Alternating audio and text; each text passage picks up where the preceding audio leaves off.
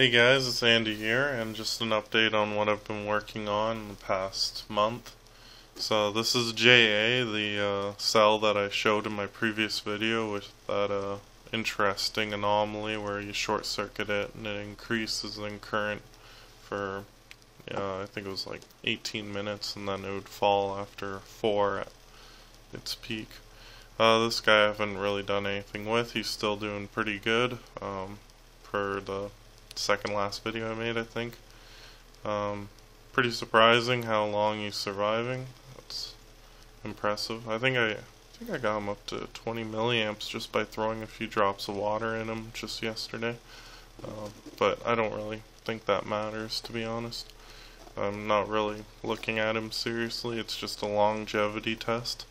So these guys here, they're copper cathode and uh, magnesium anode but I also have a piece of nickel chromium and I coated the whole uh, copper pipe with graphite paint. So it's got like three different cathodes uh, nickel chromium graphite and copper. And uh, they're they're doing pretty good. Uh, one interesting thing is they turn blue instead of green and I'm certain that's because of the copper uh, it's just an interesting observation. But, um, yeah, this one's got a fair bit, of, they both have a fair bit of corrosion, but they're both at 1.5 volts instead of 1.8, which would be the max that you could get with graphite and magnesium as per the galvanic scale. But, uh, yeah, they're, they're just interesting. I'm not really seriously monitoring them or anything. It's, it's just a pure, um, longevity test again. Uh, these are using a uh, new formula that I made up. Three parts table salt, one part no salt, one part Epsom salts, and one part borax. And all of it is uh, grinded in a blender into a fine powder. Um, that's really important.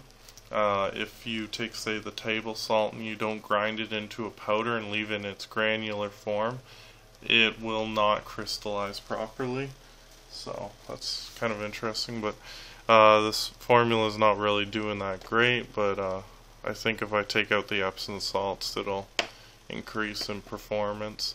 The Epsom salt seems to uh, retain too much water from the initial, um, you know, startup.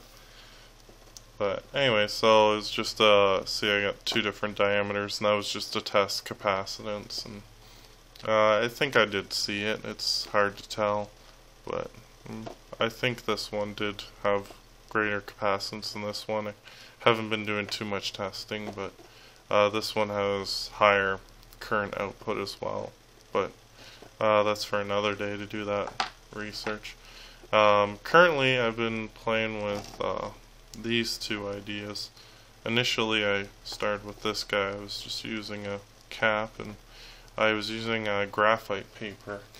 Uh, this here is graphite paper and it's extremely brittle but uh, I thought I'd just test it out and it was a failure so graphite paper is not exactly a good idea so I don't know um, you can try it if you want but it doesn't work too good with this cell, I'm trying to recreate an interesting anomaly uh, posted by the user 2910 Quillen. And uh, the video is called Small Crystal Cell Abnormal Voltage, where he did something exactly like this, and he was getting 1.8 volts instead of uh, 1.4 or 1.5. Uh, so I've been trying to recreate that, and Initially I thought it was just a use shape, but uh, I'm not getting anything similar to what he is, unfortunately. I'm still playing with it. Um, I just thought I'd make this video just to say what I'm up to. So I don't really have any numbers or any anything really about it. I'm just, you know, it's pretty simple plastic bottom to it. I just heated up the whole core and then I pushed it into a sheet of plastic to uh, get my bottom and uh, I'm using my own composition. Um, one thing that I don't have that he did was uh, alum powder. I don't have any alum powder in mind, so that might have to do with it as well. Or the fact that he just um, put the composition in and then shoved the magnesium into that, where I just have mine already in there and then I poured the, you know, uh, electrolytic in and then put water in. So um, there's a few more va variables to test, but you know, just working away. Now this one, uh, this is Jon from Manahawkin One's uh, little thing they use selling on eBay. And uh, you can notice that it's uh, quite different from my uh, mailbox video. Uh, I by accident broke it because I was like playing with it way too much, um, just testing different things. So I um, actually snapped these two things apart because I was being stupid and I was just like curious as to how we uh, glued them together. Um, so anyways, I had to glue them back together and then I also broke the other parts. Um, I I really um, you know sorry to Jon, but anyways, uh, as a result though, I found a way of um, making this thing a lot cheaper now. Before it had uh, this piece of uh, copper um, wire thing, and it would uh, connect the two, and it was using um, a whole bunch of uh, these guys here. Now, what I did was I took one of them and I chopped it off, chopped off the uh, blue part, and then I just ran the uh, nickel chromium instead of just nickel, uh, which is far more flexible and has greater strength. And I just, you can pretty much see what I've done here. I just uh, chopped off a bit of the um, connector and then I just shoved both pieces in both ends and I crimped it and then it goes in it coils. And then the top ones, all I did there was I just uh, coiled them and shoved them in, and I don't even have a uh, one of these pieces.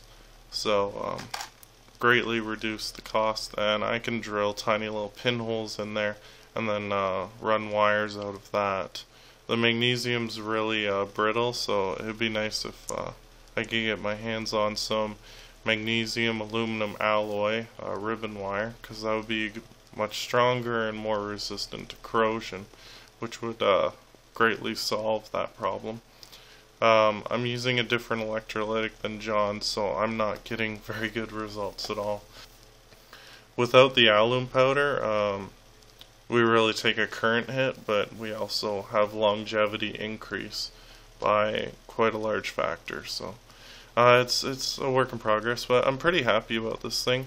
Um, it's 100% recyclable. Like I can take this thing apart a million times and put it back together because uh, Jon gave me lots of uh, pieces of nickel chromium and I've got and also of magnesium and I had also bought a bunch of magnesium as well like um, and it was relatively cheap so really um, you know, just buy one and uh, this thing literally will last forever just for a few dollars that were spent, um, which is pretty cool. I mean, it would be nice uh, if we could figure out how to reduce the cost even more. Um, but I think I'm, I did a pretty good job of reducing the cost. Uh, all you need really is a hot glue gun to build a new one and nickel chromium and magnesium and just one of these pieces. Um, which is good because uh, this little box of guys was uh, I think five bucks or six bucks so I wasn't too happy about that considering it was built in China for like less than a dollar. So whatever markup price right?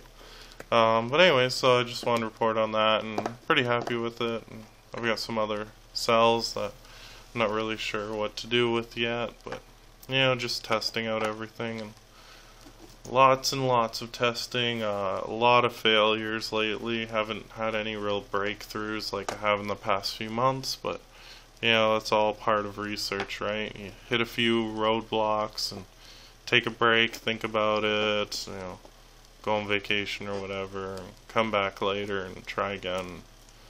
Um, you know, it's it's just a labor of love or something. I don't know what the term is for that. But anyways, uh, hope you liked the video. Um, you know, like, subscribe, comment what you think. Um, you know, this has been uh, a little bit of a problem. I'm working on this, so if you have any suggestions as to how I can get it to 1.8 instead of it's at 1.5, you know, exploiting that anomaly, uh, let me know. Anyways, thanks. Bye.